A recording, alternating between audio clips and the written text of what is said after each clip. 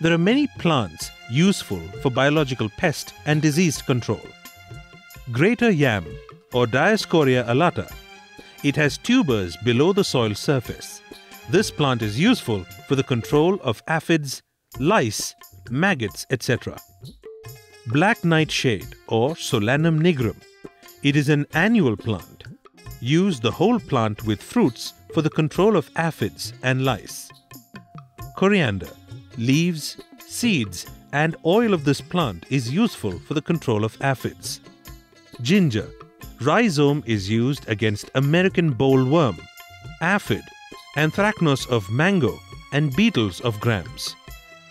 Turmeric, extract of the rhizome is useful for the control of armyworm, aphid, and for some diseases.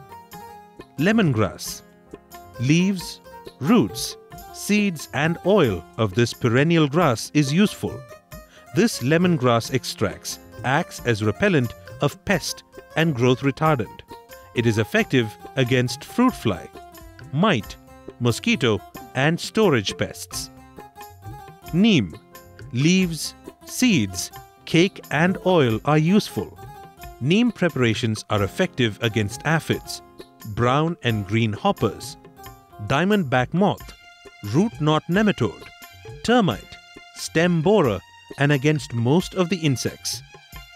Onion, extract of the tuber is effective against nematodes, beetles of grams, ticks, and tobacco mosaic virus. Garlic, tuber, leaf, flower, and oil is useful. Extract of these works against aphids, armyworm, bacteria, Colorado beetle, mite, root knot nematode, and blast disease of paddy. Around 2,500 plants in the nature are identified to have insecticidal property. Here, we mentioned only a few popular herbs.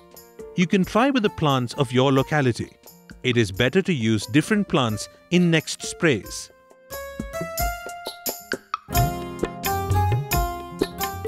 Let us study the methods of control of storage pests now. Dip the gunny bag in neem seed extract solution and dry before filling the grain. This will keep away the pests for 4 months. Mixing the dried leaves of neem, pongamia or five-leaved chaste tree with the grain controls the storage pests. Even, we may use the powder of these leaves. Spread the leaves in a layer at the bottom. Pour 20 kilograms of seeds on it. Put another layer of leaves. Fill the grain again. Repeat these layers till the bag is full. Spread the leaves at the top and tie the bag. This method will avoid the storage pests for one year.